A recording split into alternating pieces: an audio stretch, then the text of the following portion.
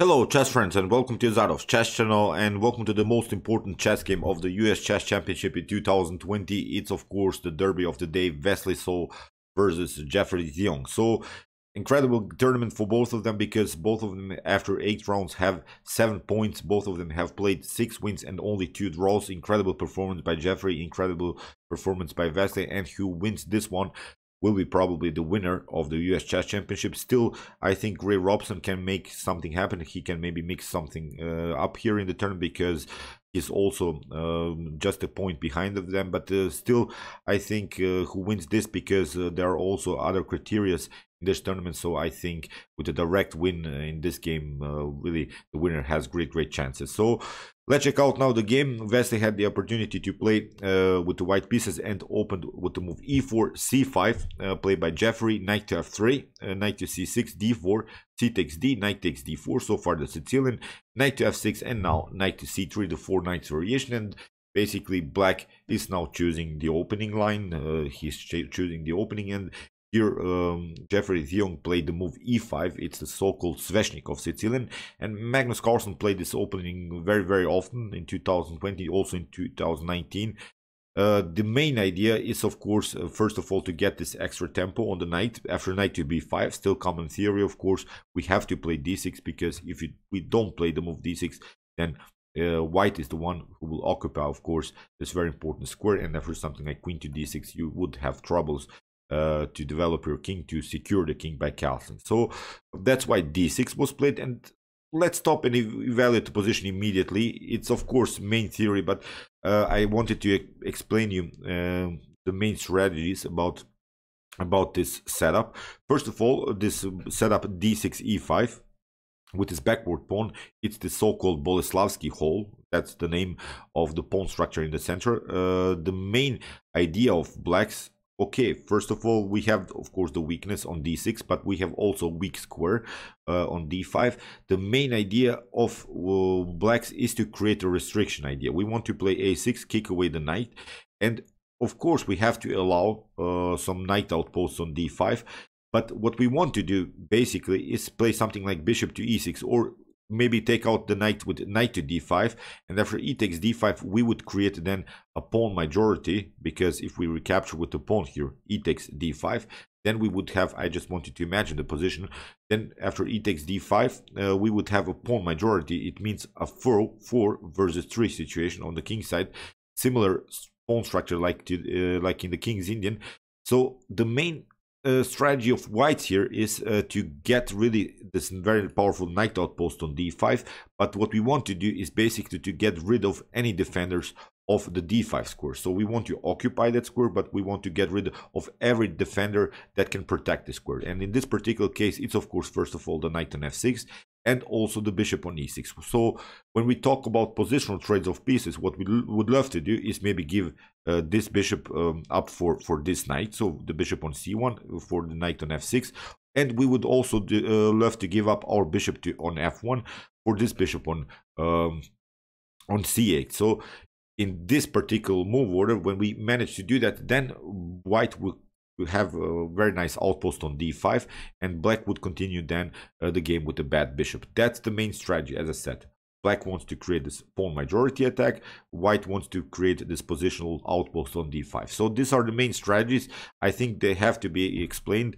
Uh, I really try sometimes to explain, as I said, the main uh, tactical threats, the main strategies, the main weak squares, the main weak pawns in the position. I think these are really uh, the most important things. And when when we realize that then i think it's much more easier to understand the next couple of moves. So bishop to g5 as i said it comes with the idea. We want to get rid of the defender of, of the square d5 so that's why here a6 first uh, still common theory. After knight to e uh, knight to a3 we have b5 and okay this move b b4 is of course a serious threat. So that's why uh, we want to play knight to d5 or we want to take out the knight here on f6 knight to d5 uh, by Wesley. So we have bishop to e7 and now comes bishop to f6 this is now our first goal. We have uh, we got rid of the knight which is of course defending uh, here the, uh, the square d5 after bishop to f6 black is continuing the game with the bishop pair of course which is good but still uh, this bishop is bad.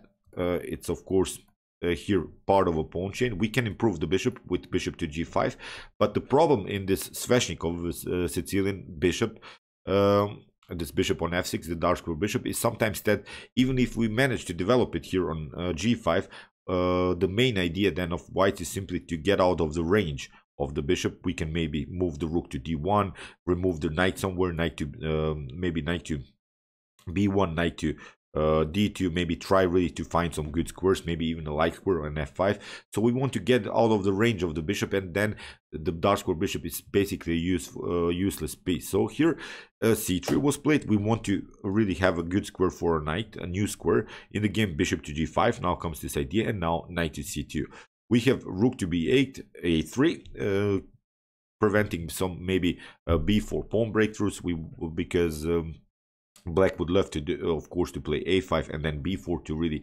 crack the position around the square b4. In the game, castling played by Jeffrey, and now we have h4. Very, very aggressive line here by Wesley So. Of course, if you take bishop takes h4, uh, we have queen to h5, and uh, you lose the bishop, or you get checkmated on h7. So that's why it's not an option. Uh, bishop to h6 had to be played, and now we have g4. Really, really aggressive line here by Wesley. So we have bishop to f4, and now queen to f3. Simply um, moving to, uh, the queen, also attacking the bishop on f4, and preparing also queenside castling because our rook could be uh, then afterwards on the d file and of course we have said the main weaknesses in this so-called Boleslavsky uh, hole setup is the weak pawn on d6, but also the weak square on d5. And uh, we want to really create this attacking possibilities here from white's perspective. So bishop to b7. Uh, here maybe a5 is also an option, as I said, to proceed with our idea. Okay, bishop to b7. There is also a tactical idea about this move. The queen is on f3. If something clears in the center, you see now also in the, the importance of this move by Jeffery. If something clears, then uh, the queen could be also endangered. We have g5, um, uh, played by Wesley So, and now rook to e8. We have knight takes f4, we have uh, e takes f4, and now queenside castling. Okay, here Jeffery tried really now aggressive move. Here you can also take here by uh, by white uh, here the pawn on, on, f4 but the main problem i think is uh, that we can maybe liberate our knight uh, play something like knight to a4 and still continue our attack against the very very weak uh, e4 pawn. And the king is still in the center so that's why we should avoid it. We should really first secure the king. And now uh, Jeffery Xiong plays really really an interesting idea b4 immediately. So Jeffery is not losing a tempo. It's not a bad move. It's really a great move uh, it's not a mistake. Uh, if you think it's a mistake, you see now what Jeffery has prepared here. After a takes b4, we have knight to b4, a very nice knight sacrifice. Knight takes b4, but he finally liberated this bishop, and now the bishop comes on a very, very active square. And the most important thing here to realize that it's it's cutting off here the very important square b1 for the king. So now there are some tactical threats with queen to a5 and queen to um, a1. Queen takes f4 was played by um, by Wesley So, and now rook takes b4. You see what uh, kind of an attack here Jeffery Xiong has prepared. If you take c takes b4, then you get really an annoying uh, continuation because here after queen to c8, we have king to d2 and now the queen comes very very active into the game. After king to e3 we can simply get our rook back. The king is endangered. After something like queen to e4 we don't have to even take first. We have queen to e1 first check and now it's time to take and it's of course game over here. So uh, if you try here maybe something like rook to g1 uh, after the move rook take uh, rook takes um, b4 if you try to get out uh, here with uh, your rook on g1 it's also not so good because you get this idea as i said queen to a5 if you take then again a similar idea will happen. Queen takes b2 after king to e3 we have bishop to c6 now we're liberating our file for the rook. The king has to move again to uh, to d3 and now you see you have to bring the queen in between. It's again of course a completely lost here game for white. So that's why after the move rook takes b4 the only really the only good defensive move is here the bishop uh, to d3 because there is also this tension here on uh, on the fourth rank so that's why uh, Wesley So plays on the spinning idea. We have bishop takes h1 we have queen takes b4 and now bishop to f3 rook to uh, rook to d2 really great tactics so far. Uh, the position is now much more simplified, but it's really not uh, so simple to proceed here from this point. Still, it's a complex position. I think what we should notice here that uh, we have now a three versus three situation on the king side. It's not a problem. We have a two versus two situation on the queen side, but the main problem uh, here from white uh, from black's perspective, pardon me, is that these are isolated pawns. So from an endgame's perspective, this is better for white. But from a middle game's perspective, this is still better for black as the king is a little bit endangered. So uh, still there are maybe some tactical threats against the king. So you have to be careful. If you get out of the, the attack of blacks, then it's a really a good game here for white. So in the game d5 played by Jeffrey, we have bishop takes a6 by by uh, Wesley So, which wasn't the best of moves. It was a risky choice to take this pawn. Maybe something like queen to f4, simply getting our queen back after something like rook to e1, king to c2. The king is perfectly fine here. At least we have regrouped. We have now complex position because, as I said, we shouldn't care for pawns now. We have to solve all first our uh, tactical problems around the king after something like bishop to h5 now maybe trying to move move, uh, move the pawn to b4 and cement our position with queen to d4 then the position is much more fixed much more uh, compact and now it's time to play on maybe then afterwards to try to take out this pawn on H a6 but after move bishop to a6 it gives now opportunities here uh, for Jeffery to counterplay, we want to break the pawn chain that the white has built here. After move g takes h6, we have rook to e4. Great move here by Jeffery. Uh, queen to uh, c5, and now comes a really uh, mistake here by Jeffery. He played the move rook takes h4. A better idea, and it leads now, I think, into a forced drawish line, is rook to e1 immediately.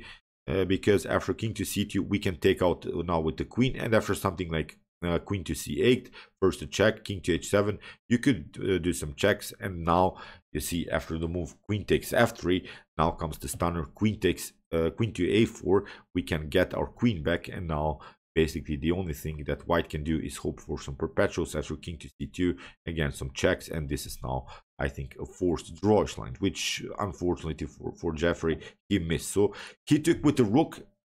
The evaluation is slightly better here for white. It's not a problem that this move is losing, but there are now also some tactical threats. Uh, you see the king is already at, uh, endangered here. Uh, white has also made some progress, so the, there are no not so many pawns in front of uh, black's king, so we can also create some dangerous checks in the game. Queen to c8 here by uh, So he's trying to simplify the position. After rook takes h6, we have now bishop to b7, and again we should stop and evaluate now this endgame. The problem is now the d5 move that Jeffery Xiong has played. The pawn is on light square, and that's what I always meant about this relation uh, between bishops and pawns. Whenever you have a light square bishop, you want to have um, your pawns on opposite colors because then your bishop is moving much more freely. You see now the bishop on f3 is simply stuck uh, to the defense of the pawn on d5 and First of all, what we should note also that uh, here white has created the pass pawn situation. So now we should really try to push this pawn further. We have rook to h5, b4, we have king to f8. Jeffery has to play, of course, with the king. King to b3, king to e7. We have king to a4. We have also now uh, our opportunity maybe to create here a pass pawn because we have a 2 versus 1 situation on the king side.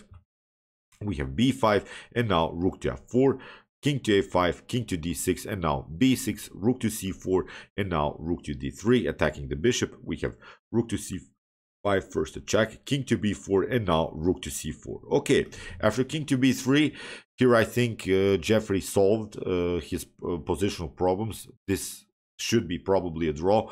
After rook to f4, uh, here uh, c, uh, c4 was played, which still is not a problem because you have the opportunity to move your with your king and after c takes d5 we have rook to uh, b4 uh, uh, king to c3 and now comes i think the critical moment of this game. So okay.